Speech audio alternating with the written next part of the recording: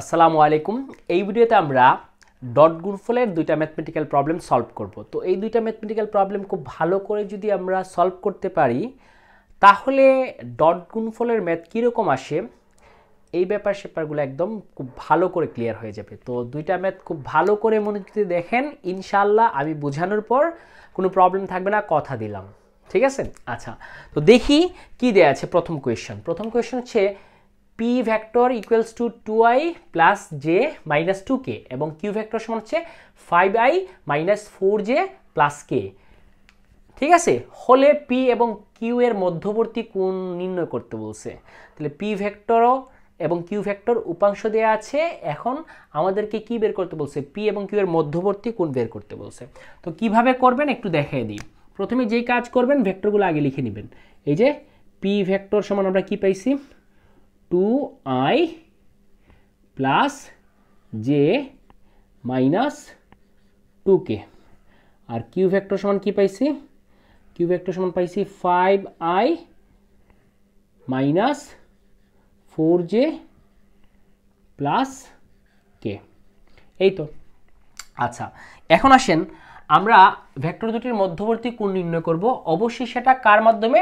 Dot গুণফলের মাধ্যমে। আচ্ছা আমরা জানি আমরা কি জানি?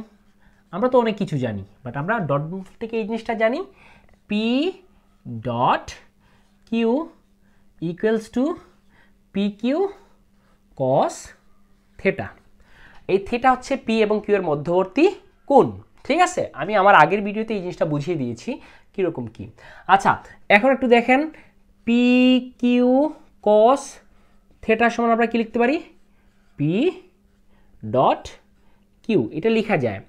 আচ্ছা এখন আপনারাই বলেন। আমরা যদি কস থেটা রাখি, তাহলে এখানে কি আসবে? পি ডট কিউ সমান কি আসবে? পি কিউ কারণ এই পি কিউটা গুণ ছিল, এদিকে ভাগ হয়ে যাবে। ঠিক আছে? আচ্ছা এখন আমি মধ্যবর্তী কোণ বের করব, অর্থাৎ থিটাটা রাখব, আর কসটা ওইদিকে এলে কী হয়ে যাবে? কস ইনভার্স হয়ে যায়।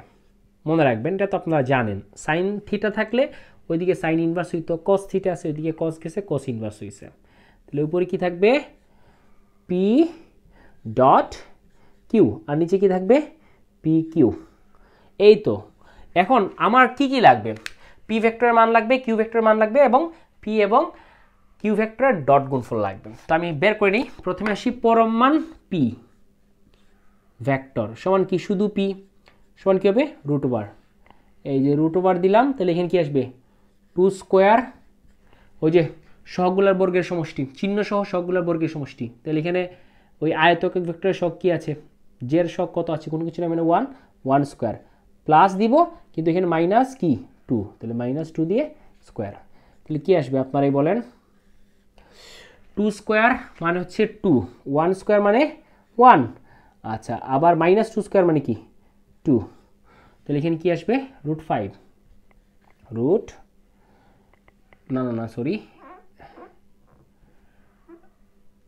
টু স্কোয়ার মানে কত? ফোর মাইনাস টু স্কোয়ার মানে কি? ফোর তাহলে ফোর আর four eight root nine root nine মানে কি? শুধু থ্রি আসছে।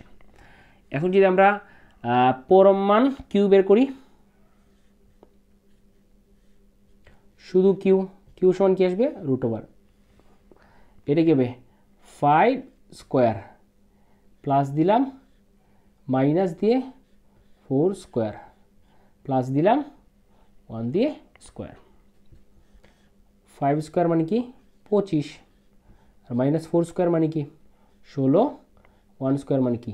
ওয়ান আচ্ছা এখন আমি একটু দেখি, তাহলে কি আসবে এটা? পঁচিশ আর চার চারে ষোলো আর এক।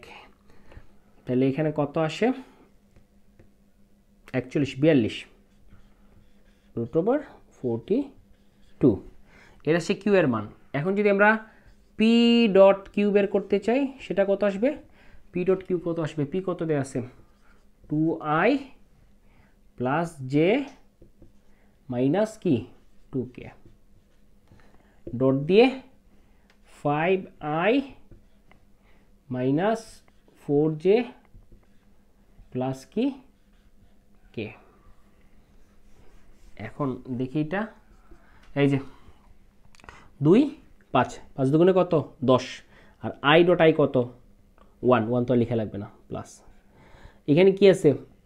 ওয়ান আছে, কোনো কিছু নামি নেই জের সব কত? One plus one minus four plus minus minus তাহলে চার একে চার। মাইনাস ফোর হয়ে যাবে, তাহলে এই প্লাসের বদলে এখানে কী হয়ে যাবে?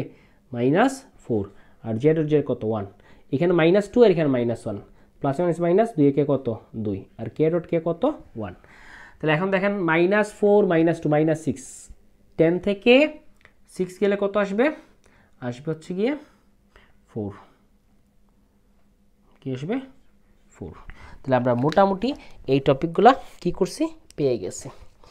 এখন তো আমরা জাস্ট মানগুলো বসাই দিয়ে থিয়েটার মানটা সহজেই বের করে ফেলতে পারি। Cos inverse P dot Q P dot Q কত পাইছি? টেন পি ডট কিউ সহজেই বের করা যায়। আগের ভিডিওতে দেখে দিচ্ছি এখনই দিচ্ছি। এটা হচ্ছে এক্স এটা হচ্ছে বিওয়াই দুটা গুণ করবেন।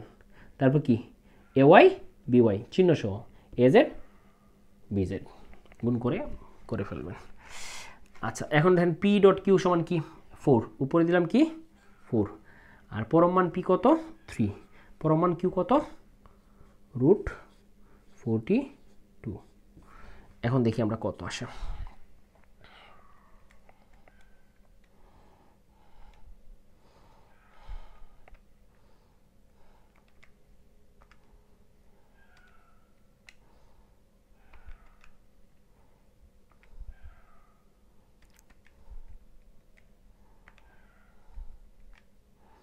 তাহলে কত আসছে থিটার মান? Seventy eight point one three degree এটাই হচ্ছে গিয়ে এই যে পি এবং কিউ এর মধ্যবর্তী কোণ। তাহলে যখন আমরা ডট গুণফলের সাহায্যে দুইটা ভেক্টরের মধ্যবর্তী কোণ বের করব, আগে প্রত্যেকটা ভেক্টরের মান বের করে নিব এবং দুটি ভেক্টরের ডট গুণফল বের করব। বের করার পর আমরা জানি পি ডট কিউ সমান কি? পি কিউ কস থিটা তো নর্মালি থিটা ইকুয়ালস টু কি আসবে? Cos inverse of P dot Q divide by P Q just মানগুলো বসাই দিয়ে মধ্যবর্তী কোণটা বের করে ফেললাম। আশা কি আপনারা বুঝতে কোনো প্রবলেম ফেস করেন। খুব ইজি বাট বুঝতে হবে আর কি, কীভাবে কী করতে হবে। ঠিক আছে? এক, দুইটা প্র্যাকটিস করেন। Practice can make same perfect ঠিক আছে? এগুলো ইজি বাট প্র্যাকটিস করতে হবে। এখন আসেন, এরপরে যে জিনিসটা বলতেছে A vector equals to two i plus three j minus five k এবং ভি ভেক্টর সমান M i plus two j plus ten k M এর মান কত হলে ভেক্টর দেয় পরস্পর? কী হবে? লম্ব হবে। আগে কি দেওয়া আছে এটা লিখে ফেলি। এ ভেক্টর সমান কি দেওয়া আছে? এ ভেক্টর সমান দেওয়া আছে two i plus three j minus five k R B vector সমান কি দেওয়া আছে? বি ভেক্টর সমান দেওয়া আছে M i plus two j plus ten k okay M এর মান কত হলে ভেক্টর দুটি কি হয়? পরস্পর লম্ব হয়। আচ্ছা ভেক্টর দুটি পরস্পর লম্ব হওয়ার শর্ত কি? আমি আগের ভিডিওতে বলছি যে যখন ভেক্টর দুটি ডট গুণফলের মান শূন্য হবে, তখন ভেক্টর দুটি পরস্পর কি হবে? লম্ব হবে। লম্ব হওয়ার শর্ত হচ্ছে থিটা কত হবে? নাইনটি ডিগ্রি হবে। আর থিটা যখন নাইনটি ডিগ্রি হবে ভেক্টর দুটির মধ্যবর্তী কোণ? তখন তার ডট গুণফলের মান শূন্য হয়। তাহলে আমরা জানি লম্ব হওয়ার শর্ত। কি হওয়ার শর্ত? আচ্ছা আমরা জানি লম্ব হওয়ার শর্ত। ঠিক আছে? লম্ব হওয়ার শর্ত কি? এ ডট বি সমান কি হবে? জিরো হবে। ডট গুণফলের মান শূন্য হলে ভেক্টর দুটি কী হয়? পরস্পর লম্ব হয়। এই জিনিসটা আমরা মাথার মধ্যে রাখব। তাহলে এখন এ ভেক্টর সমান কী দেওয়া আছে? Two i plus three j minus five k ঠিক আছে? ডট দিয়ে বি ভেক্টর সমান কি দেওয়া আছে? M i plus two j plus ten k এখন আপনারা আমারে বলেন, এরপরে আমরা কি করব? ওই যে ডট গুণফল কীরকম করতে হয়? এই টু এর সাথে এম গুণ হবে। ঠিক আছে? ইকুয়ালস টু কি? জিরো না? টু এর সাথে এম গুণ হবে, তাহলে কী হবে? টু এম প্লাস এই যে তিনের সাথে দুই গুণ হবে, তিন দুগুণে কত? ছয় সিক্স জে আর এখানে মাইনাস ফাইভ এখানে প্লাস টেন পাঁচ দশে পঞ্চাশ, কিন্তু মাইনাস পঞ্চাশ হবে। ঠিক আছে? হ্যাঁ এখানে তো আর যে লাগবে না। ঠিক আছে? ইকুয়ালস টু কি? জিরো আমি আবার বুঝিয়ে দিই। এই যে টু এর সাথে আমরা ডট গুণফল যখন ডট গুণফল যখন নির্ণয় করব, তখন কী করব? এই যে two M two M A X B Y দুই আর এম গুণ করে কী হবে? টু এম আর আই ডট আই কত? ওয়ান ওয়ান তো আর লেখা লাগবে না। আর প্লাস দিলাম। যেহেতু এখানে প্লাস এখানে প্লাস আছে। থ্রি আর টু গুণ হবে। এই যে এ ওয়াই বিওয়াই ঠিক আছে? তিন দুগুণে ছয়। এখানে মাইনাস এখানে প্লাস প্লাস মাইনাসে মাইনাস ফাইভ আর দশ। পাঁচ দশে পঞ্চাশ। আর কে ডট কে কত? ওয়ান হয়। এই জাস্ট এটা আপনারা তো বুঝেন। আর এ টু এম সমান কী হবে? প্লাস ছয় মাইনাস পনেরো। তাহলে কী হবে? Minus forty four equals to কি? জিরো বা টু এম সমান এ প্লাস মাইনাসটা দিয়ে গেলে কী হয়ে যাবে? প্লাস হয়ে যাবে। তাহলে এম সমান কী আসবে? Forty four divided by two তাহলে কী আসবে? টোয়েন্টি টু এই টুটা গুণ আছে। এদিকে কী হয়ে যাবে? ভাগ। ফোরটি ফোর ভাগ টু কত হয়? টোয়েন্টি টু তাহলে এম এর মান যদি টোয়েন্টি টু হয়, তাহলে এ এবং ভি ভেক্টর দ্বয় পরস্পর কী হবে? লম্ব হবে। ঠিক আছে? আচ্ছা তাহলে এখন এই এম এর মানটা যদি আমি এই জায়গায় ইনক্লুড করি এম এর মানটা যদি এই জায়গায় ইনক্লুড করি, তাহলে দেখি কি পাই। এ ডট বি তো two i plus three j minus five k dot দিলাম এম এর জায়গায় এখন কত দিব? টোয়েন্টি টু দিব। তাহলে এই যে দেখো twenty two i plus two j plus কি?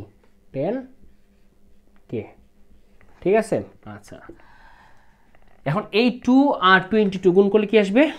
ফোরটি ফোর আর আই ডট আই কত? ওয়ান ঠিক আছে, আর লিখব এটা। প্লাস তিন দুগুণে কত? ছয়। দিলাম জায়গায় ছয়। ঠিক আছে? আর জে ডট জে কত? ওয়ান ওয়ান তো লিখতে হবে না। এখানে মাইনাস এখানে প্লাস প্লাস কত? পঞ্চাশ। আর কে ডট কে কত? ওয়ান তাহলে এখন বলেন, চুয়াল্লিশ আর ছয় যোগ করে কত আসবে? পঞ্চাশ। পঞ্চাশ বিয়োগ পঞ্চাশ কত আসে? জিরো দেখেন এ ডট বি সমান কি আসছে? জিরো আসছে। যখন এম এর মান কত? টোয়েন্টি টু তাহলে এম এর মান টোয়েন্টি টু হইলে ভ্যাক্টর দুটি পরস্পর কি হয়? লম্ব হয়। ঠিক আছে? আর লম্ব হওয়ার শর্ত হচ্ছে A dot B equals to zero খুব ইজি প্র্যাকটিস করেন practice can make seven perfect আপনি যত বেশি প্র্যাকটিস করবেন, তত বেশি পারফেক্ট হবেন। একটা কথা বলে নিই। আমরা মনে করি আসলে যে ফিজিক্স কেমিস্ট্রি সায়েন্সের সাবজেক্টগুলো কঠিন। আসলে এগুলো কঠিন কিছু না। আমার যেরকম পড়া উচিত বা যেরকম বোঝা উচিত, সেটা আমরা করতে পারি না। যদি পারফেক্ট ওয়েতে পারফেক্টলি এটা বোঝা হয়ে যায় এবং পারফেক্ট ওয়েতে পড়ার সিকোয়েন্সটা ঠিক থাকে, তখন এই জিনিসগুলো কি হয়ে যায়? ইজি হয়ে যায়। এই জন্য আপনাদেরকে প্রপারলি বুঝতে হবে এবং প্রপারলি এটা প্র্যাকটিস করতে হবে। আশা রাখি আমি এই জিনিসগুলো খুব ভালো করে বুঝাইতে পারছি। আল্লাহ হাফিজ।